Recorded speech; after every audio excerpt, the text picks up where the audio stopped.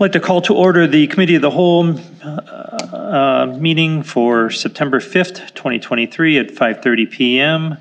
Uh, Attendance roll call. Alderpersons Wolf. Here. Hamel. Here. Terrence. Here. Kapusta is absent. Schrader. Here. Kubacki. Here. Madden. Here. We have a quorum present. Thank you. Statement of public notice. This meeting was noticed in accordance with the open meeting law. Thank you. Approval of the agenda, motion to approve the agenda as presented. So moved. Second. All those in favor say aye. Aye. Opposed? That passes. Approval of the minutes from the Committee of the Whole of August 15th, 2023. Move to approve. Second. Any changes or discussion? Seeing none, all those in favor say aye. Aye. Opposed? That passes. New business, 2024 capital project fund budgets, Public Works and Development Division. Do you have anything new? We went through everything last week, right, our last meeting, correct? Library, Brittany. Well, didn't some of the parks get forwarded to this meeting? We did. Um, Well, we can talk, we can discuss them again, actually. I just saw, I was just looking at the notes from last, Yeah, so we did talk, um, why don't you just go over the changes that we did to, it? otherwise I can do it too. Um, So if I remember correctly, um, the Moreland Park Pavilion was moved one year, correct? Yes. Um, we decided to take out totally the trail. Uh, that's the Martin Trail, both the study and the, the, the trail. Um, and then from my understanding, last one was Freedom and Schmidt, both of those tennis courts were removed as well. Correct. okay, they were, they were totally removed, it wasn't moved to next meeting? I thought I saw that, no, that's the only reason I'm bringing it up, maybe Yeah, I no, misread, um, misunderstood it. The, the mo, the motion was to remove them. Obviously, we, nothing's approved yet, so if you want to discuss something from there, you can. Um, the rationale behind it, um, be, before those two parks mainly is because they're neighbor, well, we're trying to find, we're trying to free up some more mon- money for roads. Um, in addition to that, um, those two parks, putting our resources into neighborhood parks, the committee felt if they're going to stick in- anything into parks, there, it should be in the parks that have parking and it can be used by the whole community versus um, relatively, uh, well, they're neighborhood parks, I guess. Okay, as long as we know, I just need to know what's gonna happen with those uh, tennis courts. Okay. So we can I mean, ban. are, are they usable now? I mean, we need to, It's, we, they're, they're getting to the point, I'm not gonna, I would probably say a couple of years, they're past the point of being re- repairable. I, I'm, and you've seen them, and I'm being very. cautious on how you're saying it. Yes, yes, I, I mean, they are, they're, they're really, really bad. So what happens is, when they get to the point where they get pretty bad, we shut them down, where you're, they're, will, will be liable, because they're beyond point of repair. So shutting them down means exactly what to the, uh, ground that they're on? Well, you could do a couple things. So you could, you know, remove it totally and just let it go back to grass. You could do repairs as needed. Maybe you don't open it up as a tennis court anymore. Maybe it becomes just a, a court for people to use. But again, at some point too, the, the asphalt's really bad. The cracks are, I mean, if anyone's seen it, be well aware of it that it is. Um, so, uh, other options, at some point, we Band-Aid as much as we can, but at some point, it's gonna be past that. And then I would not recommend keeping it open to have, uh, us knowingly know that we have courts with the cracks like that. So then I would suggest, uh, DPW guys, we would just remove it and grow grass. Which at that point, when it gets to the point where we're going, to it starts being a, where it becomes a hazard, instead of just closing them, my recommendation will be come back at that point and remove it and turn it into green space Okay, the, um, at cost. I guess, I guess I have a dilemma with the prorating of these over the years and what we're doing with other parks and where we're putting the money and how we're using them.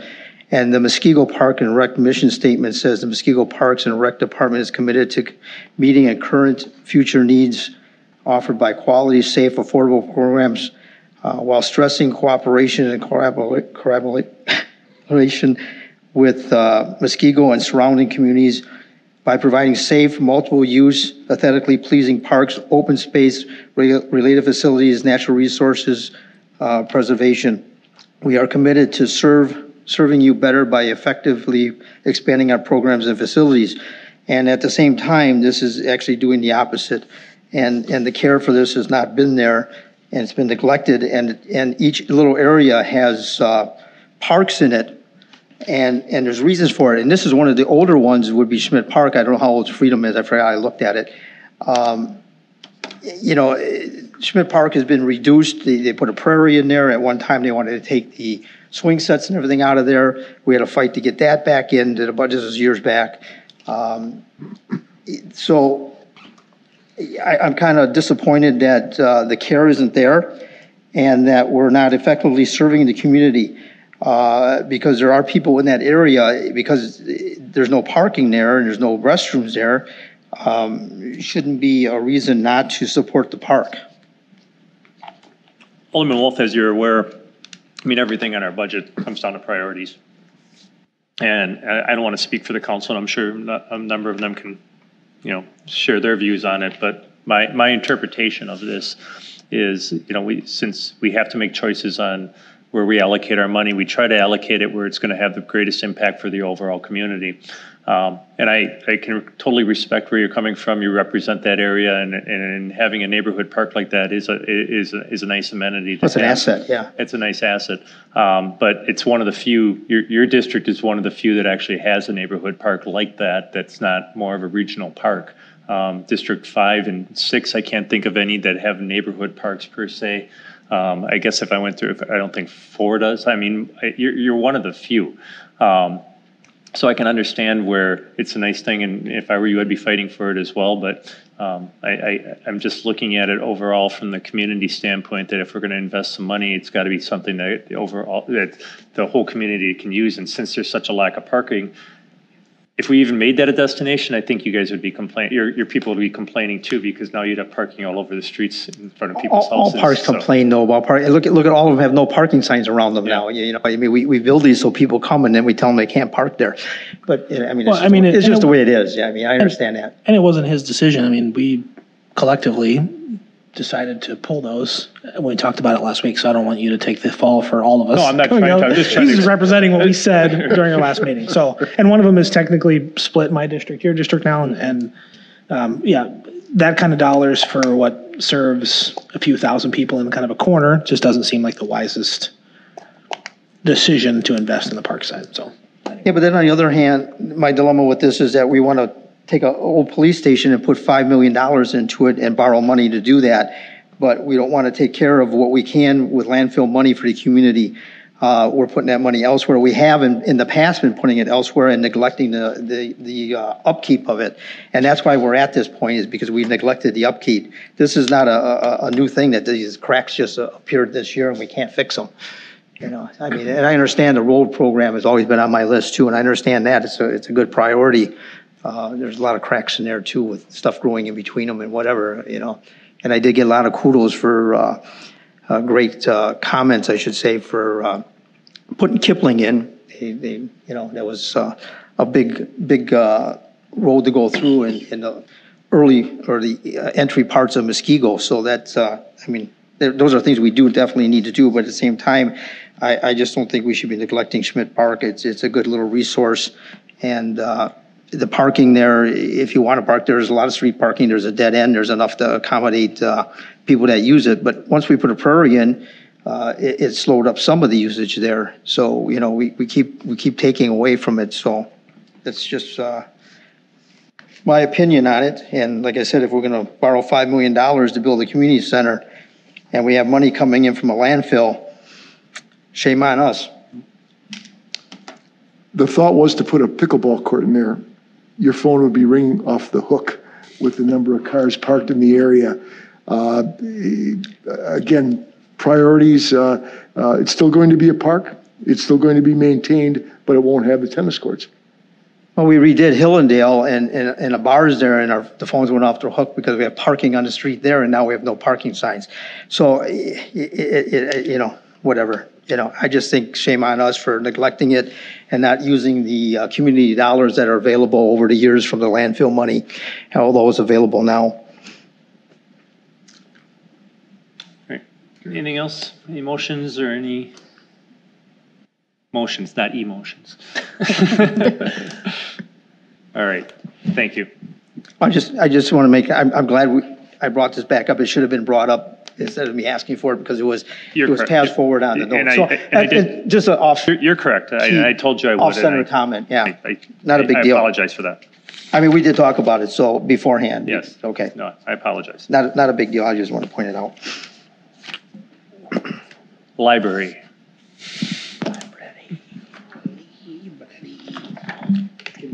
Thank you. All right, hello, everyone. All right, let me just, packet page, I think 34. I have the, well, you know what? It's page 34 of just the capital document, so I'm actually not confident.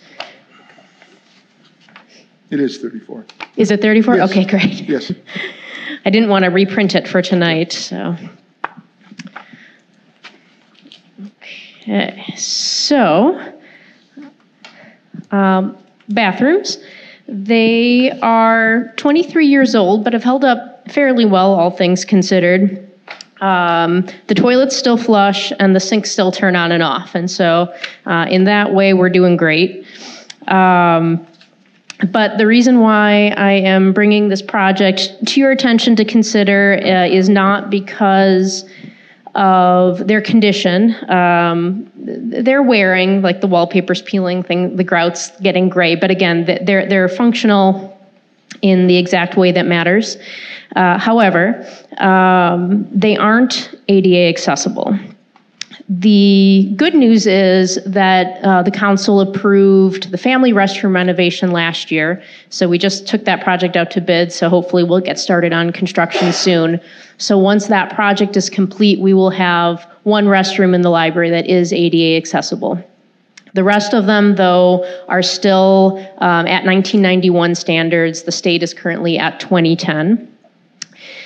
And while it is good that we will have one restroom that is ADA accessible, I think the thing that I want this council to think about, if not this year, then to keep in mind for the future is that our library had about 115,000 people come through the library last year. Admittedly, not all of them maybe use the restrooms, but if you look at a seven, eight year trend, we're almost at about 800,000 people coming through over those past eight years. They're commercial uh, facilities, but um, we probably should have more than one ADA accessible restroom. We're going to have anywhere from, you know, Girl Scout troops meeting, senior groups meeting, um, HOAs meeting, but anywhere from 10 people to our larger events that may have up to 200.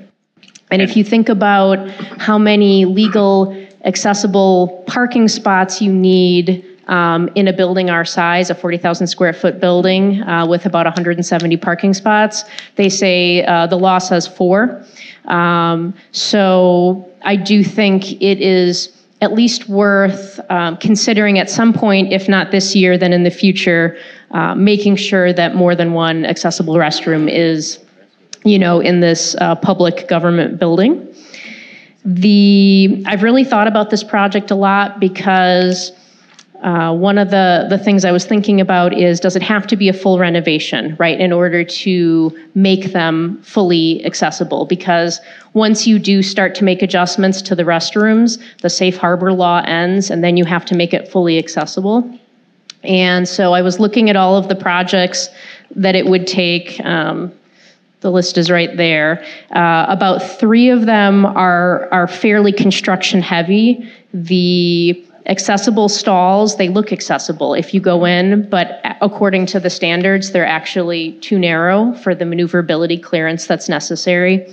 The sinks look like they would have the proper knee clearance, but they're actually a bit too high. And the paper towel dispensers, they are sort of carved into the wall right now, but they're actually within the maneuverability clearance of the entryway. And so when you think about using a restroom um, in all the ways that matter, the accessible stall, the ability to wash your hands and use soap, and the ability to use the paper towels and dry your hands, in, in all those ways, um, they're, they're not according to the accessible law. I just like- want, I just want to be clear here, just because there's Yeah. people watching at home. The bathrooms are to ADA accessibility from the time the building was built. So grandfathered uh, in. which- Correct. Which, So they- they are at that compliant. time, there were wheelchairs, there were, standards evolve and they get more strained, especially government standards, stra- stra- and I'm not diminishing that, you know, there may, there may be more of a challenge than there would be under current standards, but Yeah. people with disabilities can use the restrooms there. The standards now are higher than they were then. So I just want to be clear because I don't want people thinking that if you have a disability, you can't go to our library and use the facilities. That is not true. Some, eh, they're just not at today's standards. C- Correct, yeah, no, and thank you for that clarification. Yes, they're, they're not to the 2010 standards, but they were to the standards of when the library was built, and the safe harbor law does legally create protections for us, so, anyway.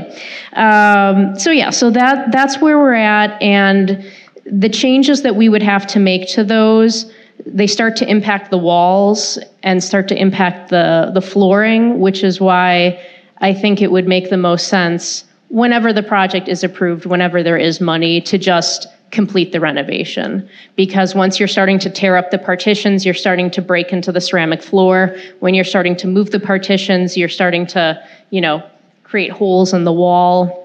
If you're talking about moving the paper towel dispenser and relocating it and uh, moving the sink, again, you're sort of getting into the wall area. So at that point, it's, it's almost at a full renovation. So whenever there is money, my recommendation, since they are 23 years old, and since they are, you know, getting older, would be that whenever there's money to actually just do the renovation, so. I got a question. You, you got uh, 181,000 in here and you have men's, women's staff room, 23-year-old. I, I, I just trying to clarify, Mm-hmm. we have one ADA bathroom already up to new standards? We will. So the Okay, we council, will. uh, the But- council. Okay, appro- hang on. yeah. So we have two other public restrooms in there besides that one? Or is that one of them? I, I mean, so there's a men, there's a women, and there's a ADA or a, a, a family? Yep, correct. Okay, and then, so we want to do the, the, the men and the women's one, because we'll have the other one already done, and the renovation for staff restrooms that we're not talking at, or we are talking at? It's included in there as well. I Okay, so then, that's where I come into price, what's the price of just the two ADAs? Did you have that broken down? the, the price of just the, The two new, The two, pu- without the staff ones? without the staff one? Or You are the know, staff ones that bad that they need to be done ASAP as well? the, the staff one is in better condition. It's just also, again, it's not a matter of condition because they're, they're doing okay. It's just a matter of me trying to, you know, state that none of them are up to the 2010. Right. You know, so the, the staff But we don't- restroom is also. We don't have a not- breakdown of if we just did the two? I don't, I Okay. don't. Now, what I will tell you though is that when when I when I broke out the family restroom from the rest of these restrooms, because originally I looked at it all the restrooms, and then I just decided to bring the family restroom last year because I thought it, it might be, you know, if we can't get everything through, at least, you know, there would be one, one that would be done. And when you look at the, the project becomes more expensive every time you chop it up into pieces for a couple of reasons. First of all, it's less appealing to bidders. We get less bidders as a result, the smaller the project is.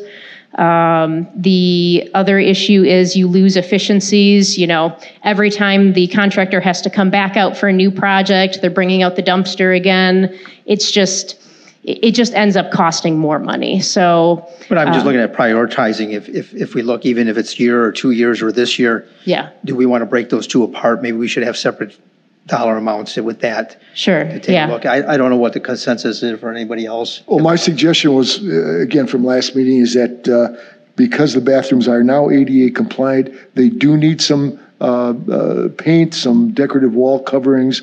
Uh, We trim this back to maybe a $10,000 figure to cover, uh, you know, various painting and updating, caulking and whatnot. And Yeah. I'm sure they could cover that. Um, We are, we are compliant.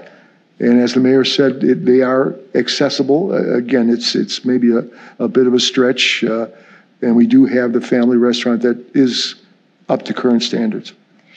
Yeah, and so I, I'm really grateful that the family restroom will be done. So that that's going to be huge, um, and we are protected. You are correct.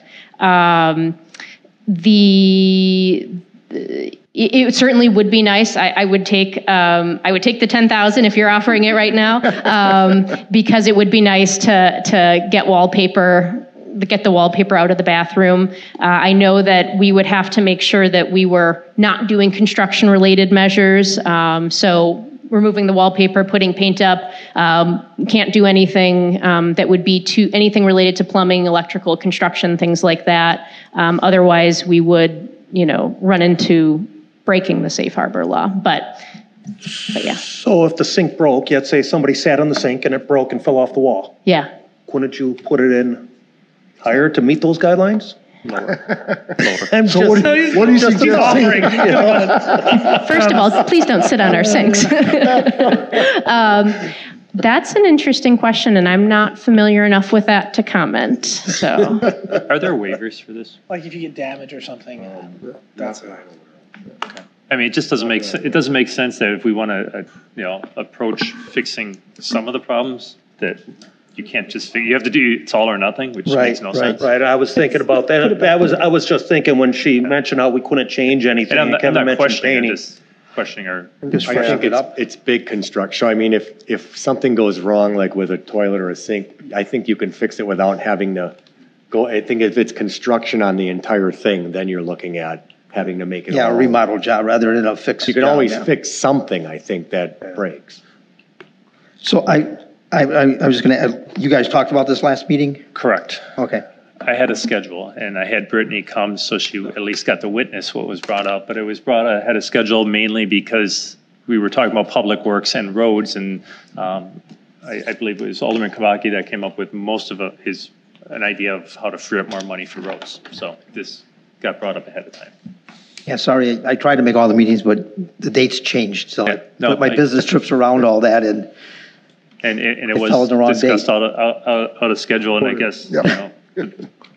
But that's, that's why we talked about this without going too far into detail, because she didn't even get to stand and defend herself. She just had to sit and watch everything get plucked away from her. it made it sound so dramatic. uh, and you know, and I do understand there's lots of priorities. Um, you know, my job obviously is to look at the library's landscape and say what is the greatest priority for the library. That doesn't mean it's necessarily the greatest priority for the city when you have to look at everything. Right, right. Um, so, but my job is to tell you what's up with the bathrooms. And So I now see- you know. I appreciate that viewpoint. so we, we, we, this is coming out of landfill money. And if we don't do that, what are we, it's just so I understood, what were we proposing to do with that money? The, the idea is to be able to put more money towards roads. Okay, so we can use the landfill money for the roads then? This, this type of land, this par- part of landfill, yes. There are Okay. some things that we have to use for certain items. This is not one of That's them. what I was There's just nothing in the landfill clarifying. contract that says we have to spend so much on library bathrooms. So I, I, I mean, I'd like to see a- a breakdown, you don't have to do this if you want to wait till next year, but I'd like to see a breakdown of the two bathrooms by themselves. Yeah. Um, as a presentation to us rather than, uh, everything. I mean, Yeah. I hate to say the staff ones are probably in way better condition and that's probably where you could use the coat of paint, but, uh, you know. Is the committee okay with leaving 10,000 or, s- or whatever, some dollar amount in there so we can pay? The, the bathrooms do look bad with the peeling back wallpaper. I mean, you're, Well- it's only a matter of time before we start getting mm-hmm. comments on it. Before we do that, I, a quick question I have is, and, and I'm not going to suggest they do this, but is it something that DPW can paint? I mean, they're not big. I mean, I don't know. Very well possible, but we need, e- even, we need money in there for paint or something. Right, so right. I'm not. s- Yeah, I mean, a dollar amount, but I'm just asking if that's something they could, We, we could probably, you know, without breaking our capital budget, put five or ten thousand dollars in there and it should cover it and whatever we don't spend we'll come back for next year's capital budget. no, I don't have a problem with that. Okay. All right. Next item. All right. Uh, Page 35. The uh, library parking lot lights are starting to rust. I will just, if it's okay, hand these out. You- I only have one copy. Color ink costs money, so you can just pa- pass it down, please. Um, So they're rusting. the good news is they lasted uh, 23 years, right? So that's that's a good run. Um, so We didn't redo, we didn't repaint those a few years back when we repainted all the other poles. We, we neglected we're in the the, process of doing the other poles on Janesville right now. right now, but we did that before too already. I thought we did that then too. This, this way will probably work. I'm not sure what we did in the past. We just do the same powder coat paint type thing? Yeah, so that, that's my recommendation. Um, these are already LED converted. We converted those a while back. It would be cheaper to um, use the method that uh, Scott and Ryan and DPW already identified to remove them. DPW said they would do that. Thank you so much, Scott. Um, remove it, sandblast it, powder coat them, and bring them back, and that would, um, you know, give their life expectancy another 20 or so years, according to the company. Um, and of course, the goal is to do that before it rusts through. Right now, there are no holes, but you know we want to take care of that before the holes come in, and then it becomes a more expensive project. So that's the first part of um, this request. And then the second part is the safety railing, which I'm going to pass this along as well. Uh, there is a safety railing that is along the side entrance off of Parkland and it's protecting against about a five to six foot drop, which is doesn't seem like a lot, but frankly, as I age, I become less bouncy, and it seems like I miss one step, and it ruins me completely. So, um, you know, it's enough of a drop where we want to warn pedestrians and uh, cars that it's there, so that they don't, you know, go to the right or go to the left, and. So is that s- uh, set in concrete or? uh, It's set in concrete, yep. So that could be sandblasted on site? Well, so they said that they would remove it. They said they would remove it from the concrete, they would sandblast it, powder coat it, they would put some aluminum feet on the bottom of the poles where it's rusting the most because, you know, the salt hits into it, um, and that will pr- prevent it, and then they'll reinstall it. And I did look at other costs, like what would, would it be cheaper to actually just replace it with an aluminum fence or a steel fence? Uh, and the answer was it would be cheaper to sandblast and powder coat it. So um, Are any of those railings rusted through? they're not. But for what it's worth, what the company told me was they were more worried about this railing at this exact moment than the lampposts in terms of get, getting, getting ready to, to rot out. So. Okay. Is this cost comparable to what we're spending on, per pole on uh, Janesville? Same company, right? I would It, assume it is. should be. They, uh, it's the same company. I think they said about, it was like about 900 to 1,000 per pole. Does that sound familiar, Scott? Yep. So, Yeah, but the rail- Consensus? Yeah. Yeah. You guys okay with this? Yeah.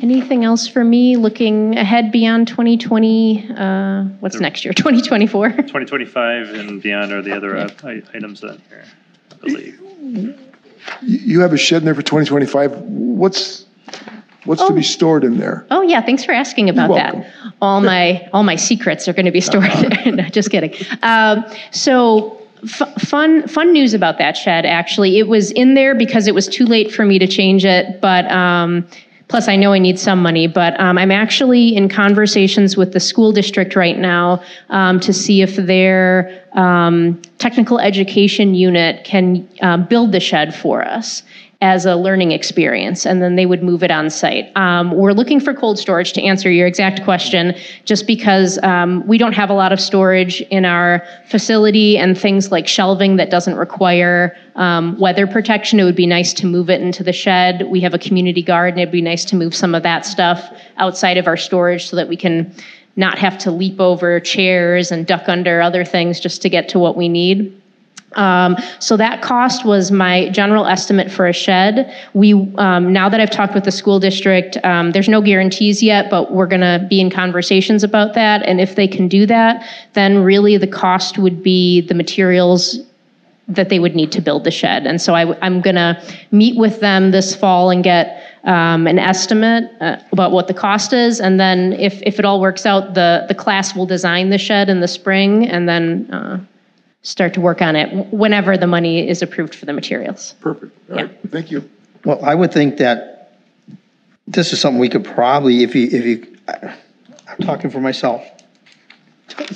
24, 24, 24, I mean, in, in 24, uh, I mean, you're talking 7,500 for someone to build a shed. If they can do that, and we're putting 10,000 in the, in the paint, which we know is a lot, between what's left over, there might be, you might be able to get that, just come back to Rick and, and see what he says. I don't know, talk to him, see where you're at. I don't, you know, I'm saying with the price of paint, if you're putting 10,000 in the paint, there might be enough to cover that in, in the next year. Yeah, my, my thoughts are ever talk to the school and if we're just Right. paying for materials, we might just be able to take that out operating and not have to worry about it at all. So we'll see. What about like a Eagle Scout project as well? They were going to be on my list too. I did reach out to some scouts because I have a couple of projects, a couple of landscaping projects in case anyone's listening, if anyone has an Eagle Scout. Um, so yeah, I'm, I'm looking into those guys as well. But it would be exciting for the, the students and it would be really cool to have something that the school students made, so. All right, thank you. Any other questions for Brittany before?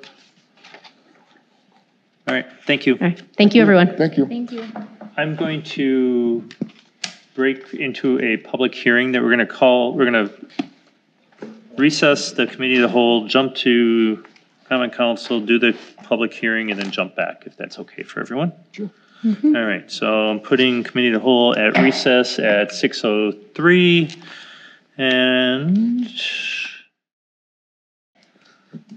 and at this point, I'm going to put the common council meeting in recess and go back to the committee of the whole. So we stand in recess at 6:07 PM. Resuming the committee of the whole. Going on, um, continue on with new business 2024 capital projects or ca- capital projects fund budgets, um, information technology. Ms. Lund.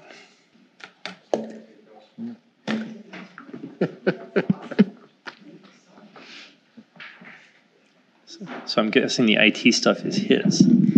No, He's just not keeping all you of it. company. Just you there for protection, in case we really have a bad reaction to a request. Nice. Okay, What, uh, do you know pages you're on? I am chance? on page five. I'm in the beginning of the packet.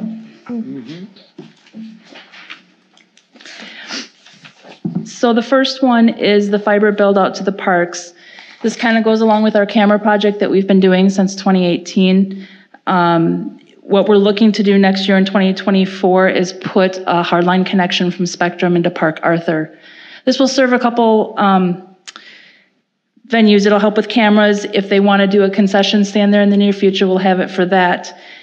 Also for the watering gear in those, in those parks, since we're putting a lot of money into the infrastructure in those parks, it'd be nice that we can monitor them from afar. So the 43,900 is the cost that Spectrum's going to charge us, along with, I've got a fi- a firewall in there for security and some licensing costs. And um, I put the first year of billing in there just because it wasn't part of operational if it didn't get approved. Questions?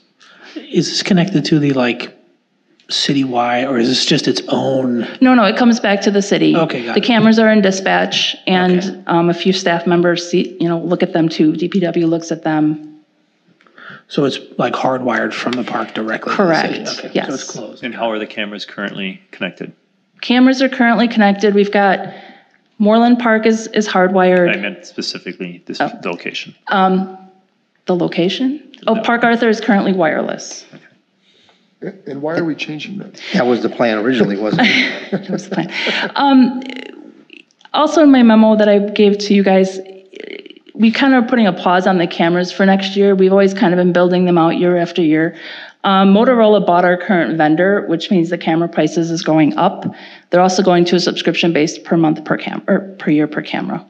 So I'm trying to look at other avenues to save us some money moving forward. So, um, so we're kind of focusing on trying to build out what we can for the main parks in the area, and then we're going to focus on the the smaller parks. We still, and that, that, the wireless still works. It still works, it still is functioning, and it will continue to function. However, um, Baycom, who's our provider for that, is saying we're starting to get saturated because we have about 86 cameras on that, on that spectrum now. And it's on the 5.8 spectrum, which means a lot of household items are getting on that spectrum, your Internet of Things, your Googles, your Alexas, your Wi-Fi. So if it's close to housing, it's getting, it's getting saturated, so You're talking about the Wi-Fi ones? I'm talking about the Wi-Fi ones. The wireless, yeah. The wireless. Wireless. So everything now comes back to the, the tower at Mercury and it beams back to us at City Hall. So if we go with the Spectrum deal, Yep. because it's on fiber, we'll be able to, if we don't stay with Spectrum, we'll be able to change to somebody else on that fiber Yes. line. Yes. We, own- it's our line, right? This would not be our The line. This, equipment, oh, it's gonna be their line? it's going to be their line, so we're sharing the cost of their line. This is very similar to what we just did in, um, Ol- uh, Idle Isle this year. So we're, they're splitting the cost with us to put this hard line in. So again, we're at the, at the mercy of, of them raising prices and whatever, just like we're at now with the, with the Wi-Fi. So what is the plan to do with the, the Wi-Fi ones then? I mean, uh, it doesn't sound like we want to keep them Wi-Fi. I am looking at different technologies um, right now. I haven't had a lot of time because this was kind of sprung on me in April. So I haven't had a whole lot of time to do a whole lot of digging on it. Right now, what I'm looking at doing is for the buildings that do have hard lines in them, I'm looking at shooting it back to the buildings so all the cameras would come back to like the shelter and then they would come back to the city instead of beaming all of this just wirelessly across the Yeah, because we had to put those special antennas up or something, Right. didn't we? Right. Yeah, And there's, okay. Uh, Yeah, I, I guess it's, I was just looking if there's a solution, but if you haven't looked into it. Technology changes constantly, so uh, The Yeah. hard wiring makes sense from my standpoint, because the wireless, this happened to us at the school district, is certain wireless bands get over, overused. Your technology and your equipment could be perfectly fine, but it's not gonna work because they're gonna either, the FCC shuts down that band, or it just, they don't allow any more on it. So you're kind of stuck with all these paperweights. Having a line, a hard line going in there eliminates that So, future consideration in the future. so what's the benefits then of sharing the line? I mean, other than cost, but if there's a repair to be made, they're- they'll take care of that with, for free of charge? Yep, because Yes. we're under contract. It, it's their pipe. Um, I, I guess looking at it, it's their pipe and what they're feeding through it, it's our sink. And that's what you did, So we can district? swap, swap You- out the sink on the end. You of it. share, you had a shared thing with the school district? Well, school, di- uh, this was something different, but it was wireless and, you know, the problem with wireless is it's convenient, but everyone, every, I mean, as more and more things go wireless, that whole space gets more wireless. crowded, so. Our current solution from our provider is, was like an $80,000 uplift cost, and they would give us our own band, kind of like a US cell band, a cellular band. But then you've got to pay for that every year, and you have to pay for cameras every year, and You're capped. that's an ongoing cost. Where if we can get more of it in-house, I think we'd be better off in the long run. But I, I have to do some research. I'm just wondering why we wouldn't want to own the lines. I mean, there's no benefit to that, is that what you're telling me? Oh, like bury your own lines? Just the cost of running our own lines would be astronomical. A And I think I did that a is couple years ago. It was over like a hem- 1.5 million. That'd be insane. It was expensive. It was Yeah. expensive. So this is, this is like the intermedium. Where the are they tying in at like Park Arthur? Is it out on College? Where's, where are they pulling it from? They'll come off college, right across from Idle, yeah. So the, adva- one of the other advantages is Time Warner, or Spectrum, I should say, has lines already running all over Right. that they own. We're just going from our point to one of their existing lines. If we, to, to our own, we would have to run from there to one of our lines, which we're, the closest one is, Okay. Either back here or the library. yeah. Yeah, because that's what, okay. So, so the one, did we already have Idle Isle? You said That was in already this with year, Spectrum? correct? Yep, Okay. yep. And Moorland Park as well. Barb, you mentioned you're looking at other technologies. Yes, sir. Would that be a substitute for this? Um, it could be a substitute for this. I'm really looking at more the wireless technologies locally within the site or to beam it back again. But again, that cost, I'm, I'm finding out is getting very costly as we move on. And who knows, maybe in two years, there'll be something new and, and cool out there. I mean, there's mobile hotspots, we could, we could do cellular, but then it's every hotspot cost a month per cam, camera, so you, it, it's just gonna grow. So I'm trying to do my due diligence and, and get you guys a good, um, We're project trying to get rid of the monthly costs. Yeah. So, yeah, so, so we own the cameras currently Correct. and the towers, Okay. but we don't Correct. own the service We own the service currently. We, currently. everything we own, we own currently. The issue is, is Motorola bought out my company. They're gonna start charging us for Motorola cameras, which are more expensive. Oh, I mean, if we went forward with, so Correct. what we have now, we won't, there's It's, what no, we have now is gonna work, it's gonna there's stay no until it charge. dies. Okay, Yep, okay. yep, I'm just trying to, Until the band gets Got it. overloaded. yes, I, th- I thought you meant there's gonna be upcoming charges from No. Motorola now, okay. not yet, no. All that good? All right, good with this? Okay. Page six, um, website provider. This one came about as um, the mayor always asks us to look for cost savings as we try and do every year. And our website provider was one of those cost savings that I think we could get a better bang for our buck with a different provider. So I'm asking for $26,970 to switch our webpage provider for next year. We are currently with Civic Systems. The new one would be Revize. Um, I reached out to the city of Waukesha because they just switched. The savings is tremendous, I think, for a year. I think the mayor would agree with that. Substantial, I mean, it goes from, 17 to about down to four, which is a small chunk of change. But you have to do the upfront charges to get. We have to do the upfront charges, and then the only caveat with this is I will work with the company. I got to give our old provider 60 days' notice, and that's due in March, so just be aware. Is it a yearly contract or or is there, Yep, because we got yearly. Um, to look for a a certain payback to, to spend the 26,000, right? This, this, what's in here for the 36, I guaranteed that for three years. So that cost won't rise for three years. In operational. Good. Okay. Um, Page seven is the public side infrastructure at the library. Um, For those of you who do not know, at the library, we run two networks. We run a city staff network and we, we run a public side network. The public side network services the Wi-Fi out there and all the public computers and the OPAC machines, where the, or the card catalog machines that the um, citizens use to look up books.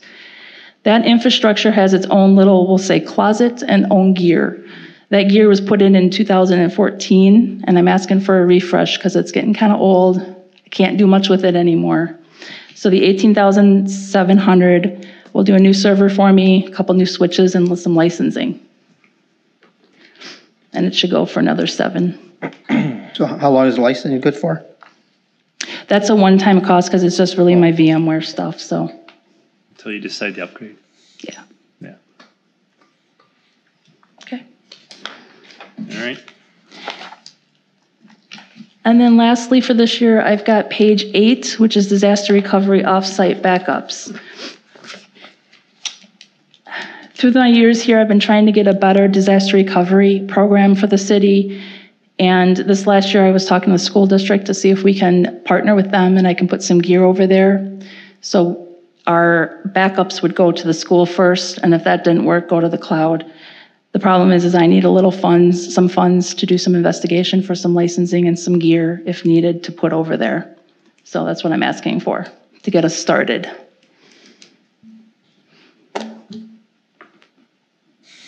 Questions? What are you using now? What are we using now? Basically, it's, it's uh, hard drives that are swapped out weekly. Okay, you taking them home?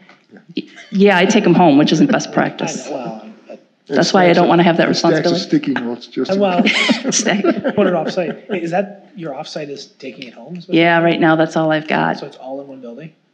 Right. Yeah, yeah. Yeah, then the eighteen thousand dollars is probably, Not too bad, right? it's, it's,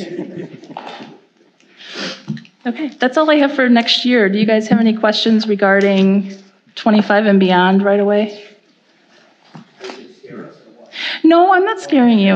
I'm just asking. But it, it it is a five-year capital plan, so we should discuss things more than just this year. Taking, yes.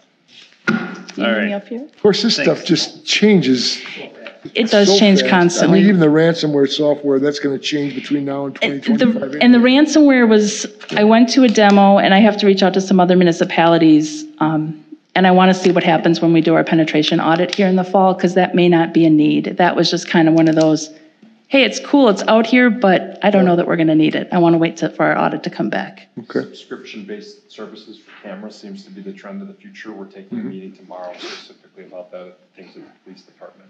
And then they get you on the, the forever train. Yeah. how will your department be impacted by what the audit suggests as far as cloud-based whatever's, That's the first I heard of it tonight, Oh, so I'm gonna have to okay. ask Sharon the Okay. specifics and we'll have to work on it. I gotcha.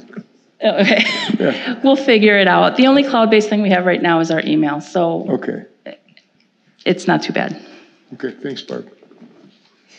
You don't need it up here? Thank you. Chief, how you doing? Good evening, Mr. Mayor, ladies and gentlemen. Captain Fonz is with me, Sergeant Jeff Monreal is going to come have a seat, and Sergeant Brian Pelleck. Sergeant, page 17? say that again? Page 17? Page 17, Sergeant Jeff Monreal is my lead firearms instructor, uh, and uh, Sergeant Brian Pellock is my senior member on the SCIT team, which you're going to see a couple of those. Uh, First and foremost, thank you again for your continued support of the police department. Uh, We truly do appreciate it. My requests for 2024 are in order of, pres- in order of priority, so you can take a look at the beginning and the end, and you can kind of uh, nod and wink when we're, we're going through this. Uh, First off, body worn cameras, you guys already approved that for last year, and it was just broken up out of a number of years, much like Barb was just talking about in terms of they get you on the hook and you're gonna end up paying the subscription fee as we go. Any questions on body worn cameras? Uh, Just as a side note, they're going really well. The fleet camera system that we purchased as part of this is still, we're waiting for install. There's a backlog on it. Uh, But once we get that, it's all going to be, and we've transitioned everything to evidence-based storage like we talked about last year. I got a question real quick. Yes. Does this scale with the number of officers? So let's say we added two new guys, two new positions. Does your need for this increase? It, it may increase. Uh, right now, we're offsetting because uh, actually Sergeant Brian Pelleck, we got a little bit of a, a grant that's helping us with some of that stuff. So I'm not seeing a need to increase it. So I've kept it the same. Uh, if our officers increase or our number of, of cameras increase or So- vehicles. So currently, every, everybody that's on patrol has a camera on them.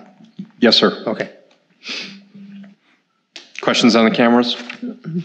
Uh, The first ask, and again, in order of priority, is our cross-match system. It's approximately 10 years old. And there's our fingerprint machine, and it's the only one that we have, and it's the one that transmits every single arrest, and all the data goes to the state. And we just need to make sure that that's up and running and and functioning. Questions on the cross-match machine? How long do they last? It's approximately 10 years, of like what we've been dealing with. Standard, okay. What, is it, does the new one do anything different that the old one didn't? It takes fingerprints. Yeah. uh, digitally. We still have the backup way uh, in case we ever need it with ink. Uh, However, this is a system. Say that again, sir? I was gonna ask what happened to the ink and paper? We still have the ink and paper if you really truly want that, but uh, the state takes them all digitally, and then that's the way we're required to do that in addition to palm prints and everything else that we do as part of the booking process. They still take, if you need fingerprints for backgrounds, they'll do them for your citizens. And some of the fingerprints that state mandated for some, for some arrests that you make, you have to get fingerprints and photographs. And just like for perspective as well, our previous machine, you couldn't take palm prints. The, the machine that's now 10 years old, you could take palm prints, so the technology is continuing to evolve and advance. Okay, thanks. That answered my question. Thank you, Mr. Mayor. Uh, Next is a- an additional squad radio. Uh, Throughout the course of time, just like what you're talking about, our fleet has increased, and we want to make sure that there- there's a squad radio in every single vehicle that we have. And how we increase fleet is usually uh, if we, we basically don't sell off another vehicle. It's not like we're purchasing, we just hang on to it, repurpose it, and we want to make sure that we have those assets available. So this is like a spare? Correct.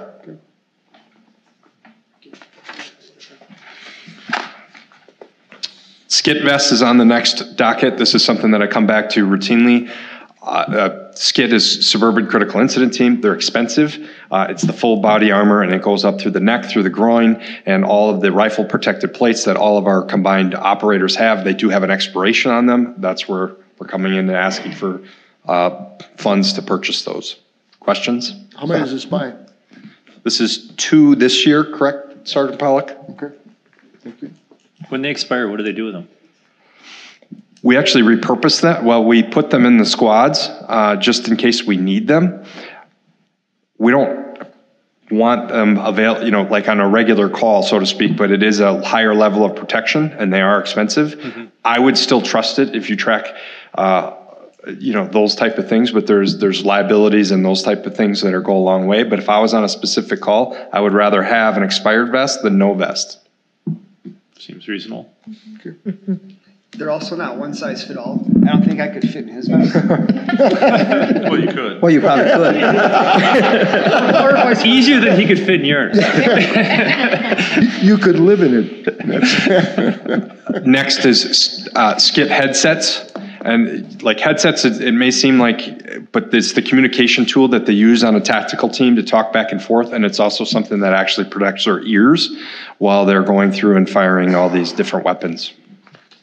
So this is, oh, this is replacements? Again, how many are, do you do? Uh, I believe it's 10 Sergeant Pellick that we're asking for? This is for seven. Seven. And it looks like you don't, you're not looking to replace them the next five years? No, these are, these are good for, uh, the ones we currently are using are about ten years old, um, but they're truly getting past their operating period where we have to consistently send them back. Every time we send them back, it's additional funding that we have to pay to do that. So you guys only have a total quantity of seven of them then? That's it? We have, yes, currently currently we we have seven people.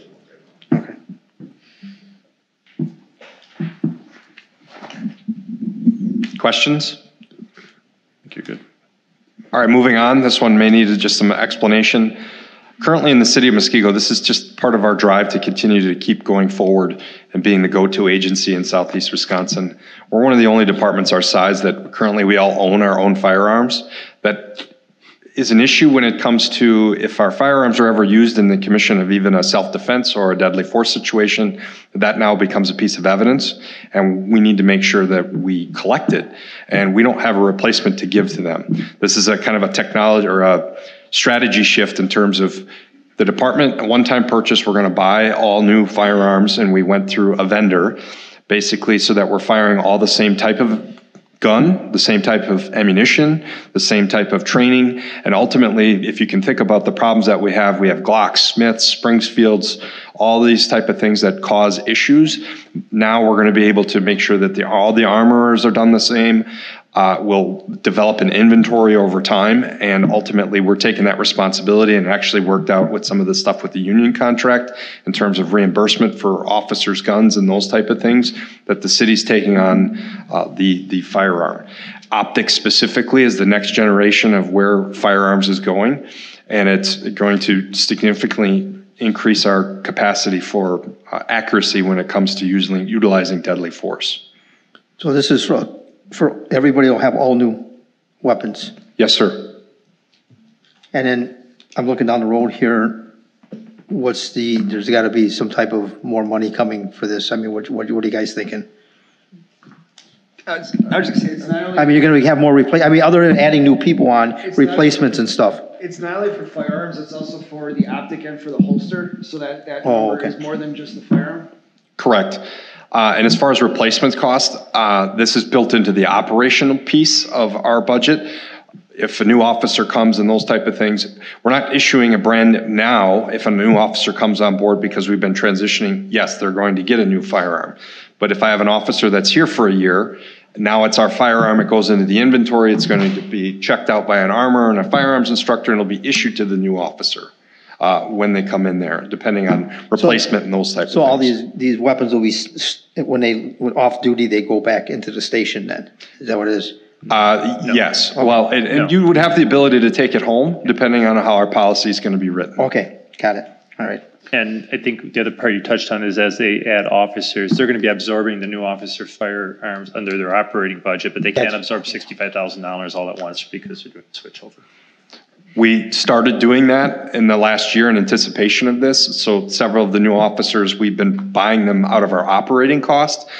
But again, with the mayor's strategy, it makes a lot more sense for the city of Totally switch Muskego to over. try to transition things to capital as opposed to in the operational, because we have a little bit more funding in that Does this category. include any spares? It does include spares. We can do it. Uh, And for that reason too, we need to have spares, they break. Right. Uh, God forbid, we don't want to take one into evidence, but that, that does happen, it does occur, and we need to make sure that the, the officer gets a new replacement weapon immediately. It makes good sense to support one weapon, one armor. I Makes agree. sense. It makes a lot of sense. Which jumps into the right, the next thing, when we started, all of us here, there was three different calibers of ammunition, as crazy as that sounds, because we were allowed to pick our own handgun. So we had 45, 40, and 9 mil. Uh, and now we're transitioning 100% to 9 mil. I came to you a couple years ago and we did a bulk purchase. We moved it from operating to capital. Now, because of this train changeover, it's gonna we're gonna burn through some ammo because we have some training that we have to do uh, with that. Sergeant Monreal has done a bit of analysis. Here's what I will tell you: from even a couple years ago, we're still getting pallets of ammo delivered because the supply chain is so backed up. We anticipate going into an election year uh, it, it could be a problem again. I would rather be able to purchase it in a bulk upfront uh, and then hang on and manage that inventory as it comes down the pipe. Uh, and that's the purpose for we're going to train more. But I don't think we as a city or a police department, it's a failure on our part if we have to cancel training because we don't have the resources available. So you, you, you did the bulk buy, that was gonna be my question, you kind of touched on it. Um, We have leftover yet on stuff that we're not gonna use? Oh, we're going to use it, Alderman Wolf. I mean, It's you just a use matter it of- for training then? Correct, correct. There's different, we have training ammo and then we have duty ammo. Okay. Uh, we're still receiving shipments of some of this training ammo as we go, but ultimately with our new building, we have the ability to store it safely uh, and be able to keep it. Quite frankly, you know that ammunition is only going to go up in price, so why not store it, have it as it's coming in piecemeal? Because several years ago, there were times when we had to like watch where we were training, and I'm not just saying watch in terms of being diligent, uh, of like canceling or cutting our firearms training because we didn't have the ammunition to, to do the training. And those bulk purchases were for the nine millimeter that we're transitioning to now. not- Oh, not okay. other rounds. Not other, rou- okay, No, that, that all was, I nine guess mil. you asked, that's my question, okay. Okay, that, that's good. And it- just, just, how much did ammo go up since last bulk purchase? Off the top of your head, like ten percent, twenty percent, fifty percent? Yeah, so we're, under- we're under government contract, um, so we get it at a, a, a cheaper rate, government does, but, um, yeah, it- it's gone up significant. And then our duty ammo is not under government contract, um, so we have to go through a different distributor because of the type of round that we picked. Um, they s- still give us a little bit of break, but it's, it's gone up significantly. So you can, you get duty ammo, or you get training ammo at a government co- contract. Correct. but What's you the different- can't- But you different can't get it for uh, hollow versus full metal jacket. Um, You can't get the other one, It's a different distributor? But you can't get a government contract on it. No, they don't, it's not a government contract pricing, but they do give us at a significantly reduced rate. Seems- But thankfully, we don't use a lot of duty ammo and I Yes, don't true. want to. If you, And that part is different. Yes. I sincerely don't. We change it out periodically just to make sure that we don't have a bunch of old ammunition that sits in and gets recycled in and out of your firearm from time to time. Yeah, I was going to ask, does that stuff expire at all, or? It, as long as we're making sure that it's in a safe and a dry and it, we're keeping it out of the elements, which we're doing. And we have the space. And it's not made in Turkey. It's a thing. Questions on ammo, optics, firearms, plant, the plan, the strategy? Okay. All right, next brings us to a couple that are going to be related. Uh, Laser radar units, these are the handhelds. I want to make sure that you, if you've seen us at, at any of the public events, you've seen us on bicycles, you've seen UTVs. Uh, uh, In case you haven't heard, you guys have all get these complaints. The number one complaint I get is about speed enforcement uh, in and around uh, the area. And I want to make uh, speed enforcement a priority for 2024. Part of that is to give the handheld units, not just the ones that plug in. Maybe they're on a bicycle, maybe they're on the side of the road, and just give officers more options on what we can use uh, moving forward. Again, I gotta ask, how many, how many are you looking to get? Two, Two? And they're, they're rechargeable? That's, you just plug them in, and recharge them, that's what they are? uh, Sergeant Linkowitz, he's our, like, kind of our traffic guy, if you will. But He pulled the, the data and they're, they're rechargeable, so you don't have to be sitting plugged into a, a vehicle. Do you still use conventional radar or is everything laser? We have conventional radar and it's uh, like in the vehicles in the front and back for the moving and all those type of things. But then obviously the guns are very helpful when the road is busier and then also allows us to secrete a little bit more. Not that we, presence was our number one goal of increasing this year, that we're trying to be sneaky about it, but it's, it's difficult. If you've been on Hillendale, and that's where a lot of complaints just came this week, because of the road, like, we can, we can go into the driveway, but then you have to kind of angle your stuff, and this gives us another opportunity to do those things. Yeah, amazing. Any other questions?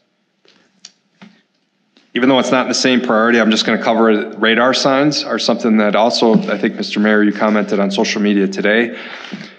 I'm not, I'm not a fan of putting signs up everywhere, but the, I will tell you, I caught myself speeding on Bay Lane uh, with my the own signs that we put up. Uh, so it is a detractor, and it was something that I paid attention to going to football practice. Uh, and I'd like to target a, a, couple of key areas where you get your more significant issues. Uh, Bay Lane, if you've seen them there, they're on Bay Lane, they're on Hillendale, they are on Test Corners. I have a, a, donation from the National Night Out Committee that is going to donate a set of these as well. Uh, and my next places are going to be Woods and McShane, and obviously that's something that we can discuss. What these are super expensive. However, what they do do to you is we've had these complaints on Hillendale. We had a fatal accident uh, there. We pulled the data today, which I shared with our staff, uh, which keeps it all the time and we're able to give real-time information up to the date where we are in terms of percentile and speed uh, and excessive speed warnings when it comes to that. And it is an effective tool and it helps with the neighbors, which I'm sure will be good with you guys. But this is an investment for the future. We just need to be strategic in where we place those and make sure that they don't walk off. So then you would have records that show 12 people were speeding on Tuesday night between 5 and 9 PM? We have that record. Okay, cool. Because I was going to be like, does it even help? But if you've got the data that then. It, it, actually, the ones that we're looking at, because of course, it's, it's like you go to one-stop shop, it's like all traffic solutions, and it's Bluetooth, and we can get it to the phone. We have temporary signs that we put up. These are more permanent that Scott and DPW and Ryan have really helped us with. And we've targeted specifically Bay Lane and Hillendale and Test Corners previously, but you know, uh, Woods Road being, there's no stop signs. And uh, that would be one that I'd be very interested in. McShane is also another one that I'm interested in, in terms of uh, some of the others. If we polled the community, I bet you everyone one would want them on their street. Does, does the data allow you to, or can it pull out the kids throwing, I mean, literally kids do this. They, they stand in front of them and throw pitches to time their pitches. Does it, is there a way of There, detecting? there's that? a setting on it, it doesn't pick up, like the lowest speed example, when we pulled it today was 10 miles an hour. So they set a minimum bar of like what it picks up. So it doesn't know baseball from a car essentially? Not necessarily, no. Are these But I gonna- will tell you, there was, gonna go with there this and accident, that again? this fatal crash that just occurred, it did pick up the, the outlier of, of that speed. Around that time frame, there's two cars that are going 86 miles an hour. Wow. And likely that's one of the, one- and we talked about the speed and the reckless driving and possibly alcohol were contributing factors in that crash. Are these units going to be able to be secured? We're going to secure them, and obviously, we've had a couple of sign thefts recently, and we need to get creative on how to make sure either a GPS tag or something, so that if it becomes an issue, but they're, they're- we, we, they're super expensive, and I want to make sure they're either insured or that they're locked and not able to be taken off with a socket wrench. So you said he stole the digital signs? Yes, two of them. Oh, really? Wow. Almost got to put a camera on there. Where's IT when you need them? Any, any more questions on, and again, periodically, I'm gonna probably try to come like once a year just to kind of increase it. And it- National Night Out Committee has agreed to purchase another set, so, um, this is just collaboratively working together to solve problems.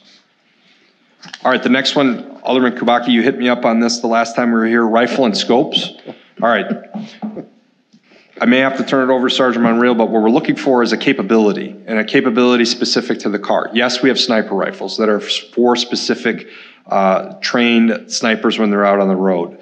Our concern is there's been several examples over the past year of kind of that intermediate or kind of lengthy shot that's not a sniper rifle, but we needed that for the active shooter type scenario. The two long shots that I can think of off the top of my head are in Inpro and then also in the long hallways at the school district. If you had an active shooter at one end of the building, you wouldn't be able to take that shot because of preclusion uh, in terms of like other people in the area. But with this and an optic mounted sight that we're looking at putting at two, one in, you know, the different cars so that you could have that capability if the need should arise to have a little bit more of a length. Did I explain it right, Sarge? Yes. Yes, it's expensive, yes, or, you know, but this is something that we're looking to add a capability to our arsenal. Thoughts, comments? These are two rifles. Two rifles. Does everyone get trained on that then, or just certain No, people? it's gonna be, it's gonna be a little bit of a, uh, training, um, it's gonna be a little bit of a training nightmare to try to keep everyone up and up to date and current on that. Um, so it's gonna be, uh, specifically for any firearms instructor, uh, current SCIT people or retired SCIT people. And by that, it'll be about twelve to fifteen people that'll get trained on this, have to do annual training, Does the multiple different shifts. Does the SCIT team have weapons similar to this? If they're on the uh, sniper team, their SCIT rifles that they have are not geared towards like that, the, the longer shot, so to speak. It it is more uh, set up for room clearing and those type of things. Yes, they have the capability, but the distance is not necessarily there. Questions? All right. All right, my, my last two. All right, so I am asking for decor, and you're, you're gonna, you guys are gonna hit me up and say, well, why that? Well, here's the deal with the old police department, the new police department, and he's already grinning at me on this one. Uh, our operating budget to just try to make sure that things are updated in the police department. When we show for culture, we bring a ton of people into that police department. When we show to new recruitment and retention officers, they come in there. Some of our stuff just needs to be updated. Now, I will agree with you. The downstairs basement, if you remember a couple years ago, laundry room, all that, we, we didn't get any bids because it was a smaller project, so it's still on hold. We just painted and we cleaned it up and we were making do. With this, I'm asking for just a little bit of starter funds. I went to Inpro and that was their uh, nod and wink traditional um, amount that they basically gave a bid for to, to try to update with some photography, with some things that can showcase our officers a little bit more. So that's what I'm asking for, for decor. So where are you gonna place this stuff?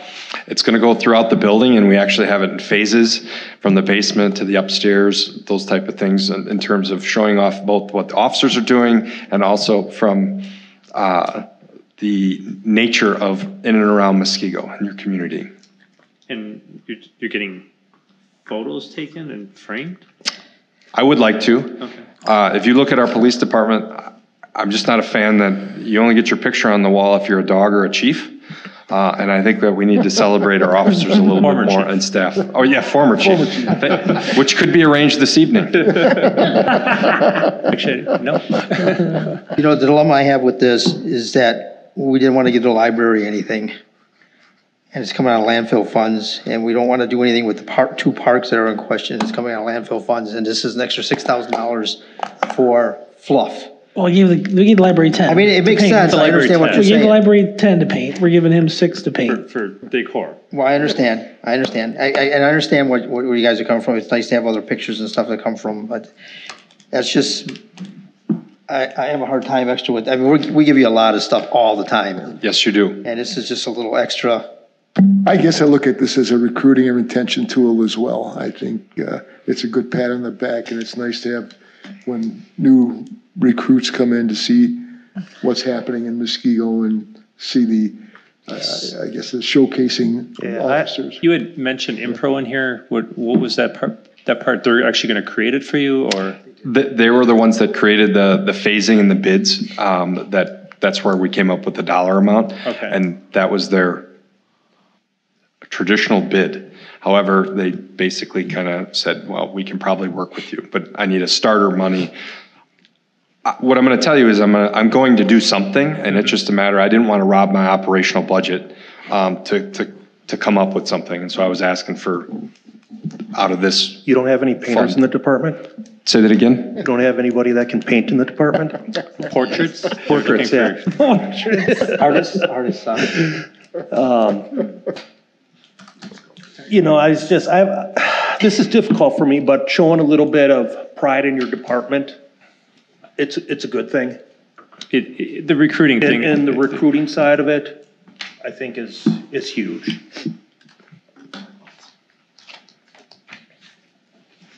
All right. All right, lastly, this is one that uh, I'm I'm earmarking this. We actually received two bids. I know it seems like a lot, but we talked about this in the past. Uh, there- we- I'm asking for fencing for the back parking lot. Um, But there's also two bids and like, and it's a little bit creative and I apologize about being vague. But I'm looking to get the money and then we'll, we will discuss exactly what we're going to do. Is, is to secure an area of the, the police department employee parking lot. Uh, and, you know, like one of them that covers the generator and then the other one actually kind of cuts off the thoroughfare back there. If you're not aware of it, we've had several employees that have been approached and, and, uh, going to their cars at the end of their shifts or during their shifts. Uh, and if you can go to the Appleton Police Department, they actually had a, a deadly force incident, uh, which occurred like after shift, you know, going to their personal vehicles. It is one of those things, and it adds a little bit of what we call curtilage or distance. If we were to have critical incidents here, uh, that would give us a little bit of space to push back. Obviously, if you're paid attention, Attorney Warchol, you park over on our lot on purpose on court night because we've had individuals that have approached some of our city personnel afterwards, and that would be an option. My, my priority would be uh, this, even the sixty thousand dollars, if approved, would be to, to like come before you and go, okay, here's what the plans are, here's where we're really leaning towards. That's not enough for every single employee, but I'm more focused on my second shifters that are leaving at eleven and my night shifters that are coming in at eleven. Uh, to make sure that they're not being approached. It's happened at least a handful of times since I've been chief. And then the Appleton Police Department again had a deadly force incident uh, upon the end of their shift. This is a a gated fence? A gated fence. And then it ties into the security system for the access control? Is that kind of the plan? Yeah, that's, that would be the, pl- well, both of them, again, one of the plans is if you, if you're familiar with our back lot where the generator is, it would enclose that whole area where we have uh, the secure sally port where we bring in people. And another plan was to go kind of uh, between the old police department and the new police department, kind of cut that and bring it around. But that, then that has thoroughfare questions, all that. I'm not a huge fan of having our emergency doors open and there's people walking back and forth, uh, you know, in that capacity, but that's a discussion for a later date. At this point, I'm looking for, for money to, and again, it's a conversation with Scott, it's a conversation with all of you to, to at least start the ball rolling. Wait, I, I just, if you clarify something, you- you said the old police station? I, I, I missed something in between when you're talking about the fence. The, the roadway goes through on the north end of the building. You can go from the front, you- essentially you can go from Racine to Right, right. Pioneer Drive. So they talk about that area, who is trying to Maybe find like somewhere cutting blocking parking that lot in off, half kind of which, thing. I mean, ideas, it doesn't, that's not what he's proposing. So I wouldn't be able to drive in on the backside and get over here to City Hall? no, he's, I- I'm that was one of confused the, here. he confused you with, that was one of his thoughts. That got shut down. This is. Oh, Correct. okay. I got you. Okay, that got shot Bro. down, okay. Okay. So you're just looking to fence in the back part, basically, right now? The back part or on the side of the building in some capacity so that we have secure parking for when we, we need it. Oh, so you're talking about maybe two fenced-in areas, kind of? Well, it'd be one fenced-in area. You took the bid, so. We essentially, essentially got two options, and it- they both came in about the same price. And it just depends what option the council would be interested in, the city would be interested in, if we were to move forward with the project. So we just needed some baseline number to present. Well, that's what I'm tonight. trying to figure out. If you, if you're gonna fence in an area across from the, they'll have to walk across to get to the fenced-in area? No, Just so I no, it- understand. every, Okay. every fencing area be attached to the building Be in some, attached. in some capacity. Gotcha, okay. Was this something Public Works could put in, or? We don't do fencing. Yeah, fencing's a, an art- you know, the, the question I have is, where were you when we were doing the construction of this building? Because that would have been perfect then, right? Well, and That part makes of this sense. came, so, and we, we got a. Well, it makes sense. We, you know, we got a quote-unquote First Amendment audit a couple of years ago where gentlemen came through and we passed, we shortly after that, we passed an ordinance making that area off limits to the public. Oh, Um, So this just kind of is the next step of that. And I can tell you even too, not just Attorney Orchard, but our municipal judge started utilizing our back parking lot too for the same issues, because we've had some very unhappy customers lately, and it's just what's in the best interest for not just our employees, but the other city employees as well. Yeah, That's a good idea. I was just trying to get an understanding of how you wanted to do it. I'm not against it, so. You want to help put it in? All right, any issues with this? Digging holes? Anything on the five-year and beyond that you have questions on?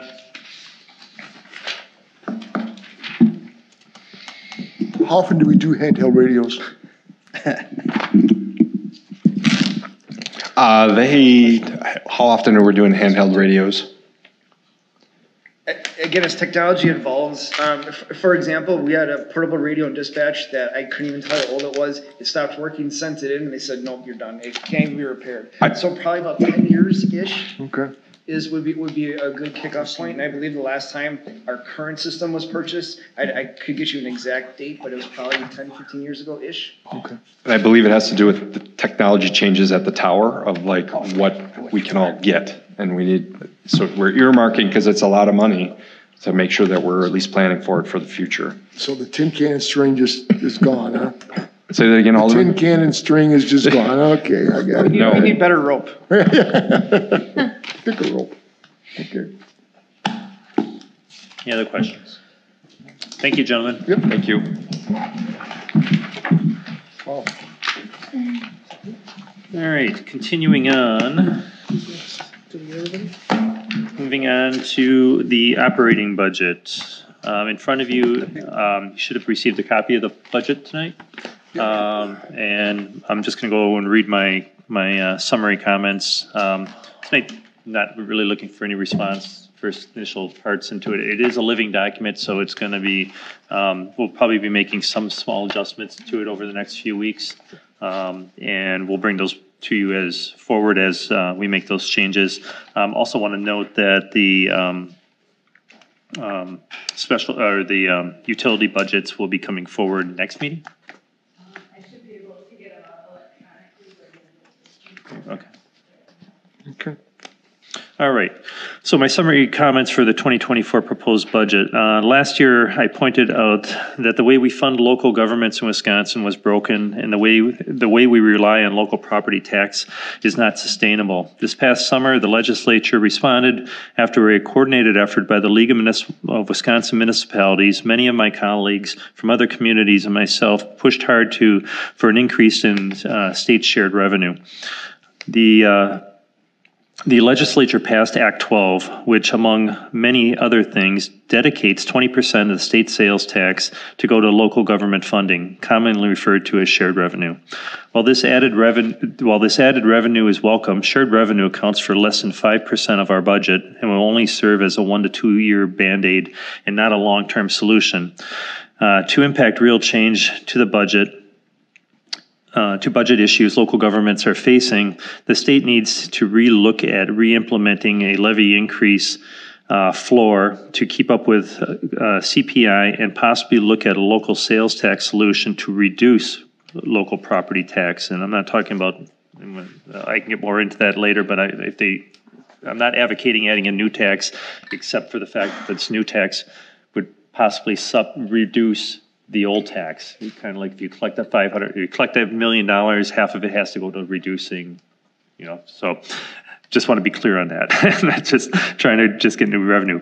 Um, to allow communities to compete for revenue by becoming more business friendly. As we continue to grow as a community, we need to continue to monitor the investments and services we provide to the taxpayers. Those services, by and large, are a product of our hardworking employees. We need to continue to find ways to maintain our existing staff as well as recruit the best and brightest for open positions. This budget makes priority of those goals so we can maintain the image of being a great community to live and raise a family. This 2024 city budget is built upon council-defined budget goals with desired outcomes in the best interest of Muskego taxpayers, and the 2024 proposed budget is consistent with that measure. Based on the agreed-upon eh, comprehensive goals of the Committee of the Whole, the balanced budget, as prepared by the department heads and I, is proposed to once again maintain a low mill rate of $3.80 per, per thousand which again is one of the lowest mill rates of any municipality in Waukesha County. This is the third year in a row of maintaining this low rate. Following are the 2024 comprehensive budget goals as approved by the Committee of the Whole. To apply net new growth as allowed per state levy limit, maintain high bond ratings, limit one-time funding sources, avoid deple- depletion of special revenue funds, recognize and respect the expertise of incumbent, employees through competitive pay increases and benefit packages, abide by the general operating fund balance policy, and budget goal setting as a collabor- a collaboration between the committee the whole, mayor, and staff. The budget process. This evening, the Committee of the Whole received the 2024 proposed budget for initial review. We will, however, continue researching further budget adjustments as we go through this process. The goal is to have an approved budget on October 10th for a public hearing and budget adoption that evening. If there are any specific questions regarding any line item, I encourage council members to contact the respective department head in advance to discuss the items to aid in identifying the precise information desired. Significant changes from 2023 to 2024. Revenues. The proposed 2024 general fund budget reflects increases in shared revenue of 552, approximately $552,000 from the passing of Act 12. Investment earnings have, inc- will- we're budgeting an increase of $354,000 and a tax levy increase of $141,115 and is within the state levy limit. The additional funds will be utilized to offset expenditure increases in protected services, technology, human resources, employee pay scale adjustments, and merit increases. The added state shared revenue funding gives the city of Muskego just under $600,000 in new revenue from the state. Since this funding source is tied to sales tax, it will grow with the economy. In addition, our new net new construction has increased from about 0.86% last year to 1.61% this year, which allows for a levy increase of, and I need to add that dollar amount in there. Uh, 141, $140,115, which I actually stated right. earlier. Expenditures, the proposed 2024 general fund expenditure budget is in balance with the proposed revenue budget, resulting in a 4.65% increase over 2023. In support of the goal to recognize and respect the expertise of incumbent employees, this budget reflects a recommended, cost of living of adjustment of 2% in January and a 2% additional uh, in July pay for non-represented employees. The police union agreement is tentatively approved by the bargaining committee, union leadership, and it was just approved by membership this past weekend. This agreement is a three, th- uh, a three-year agreement calls for following, the following wage increases. For 2023, January 1st, 3%, July 1st, 1%. 2024, January 1st, 2%, July 2%. And 2025, January 2%, July 2%. Employee recruitment and retention is important to continuing our mission to serve our citizens, and as such, we want to make sure our employees are being compensated in a fair manner when compared to other communities. To ensure that we are, to ensure that we are, the HR department is in the process of conducting, conducting a compensation study. Our goals are to adjust salary ranges and correct any positions whose salaries are out of our policy ranges and to make sure job levels are equated to job duties. Let's see. Due to the growth in the recreation department needs additional support carrying out, needs to, I'm sorry, needs additional support carrying out the general office duties, including answering phones, registration, park shelter rentals, baseball field use, uh, entry, social media posting, invoice billing, uh, covering office when the staff are out in the field and more. We have included a part-time position to assist the recreation staff with these duties, allowing them to concentrate more on revenue-generating programming. Finally, as discussed last fall, with the 2023 budget, we have uh, projected a significant savings in our healthcare costs, which ultimately were never, which which ultimately were never realized we hit, so because of that, we have a $260,000 increase in the budgeted amount for health care insurance. However, it should be stated that our 2024 rates will have a 10% savings over our actual premiums. So um, just a little footnote, side note on that. Last year, when we originally created the budget, we were, we were hoping to have a a rather large health, uh, health insurance savings. Um, As we went through the budget, we realized that that savings wasn't going to happen, um, but we were able to make, we, we switched carriers and we were able to um, have, at least have a 0% increase um, with the hope of, as we would move on with that carry, we'd have um, more um, experience levels that they would be able to uh, project some of that savings forward. Uh, Today, we are notified that even though most, in fact, almost every community out there is seeing double-digit increases, we're getting a double-digit decrease for, over what we're paying now. Um, But in the budget portion, because we had budgeted a lower savings, um, it- it'll look like an increase. So I just wanted to explain that as a side note. Uh, These expenses, along with added costs for elections, fuel and utilities, building maintenance and cost increases amount to the net expen- expenditure increase of $790,000 for 2024. Taxes.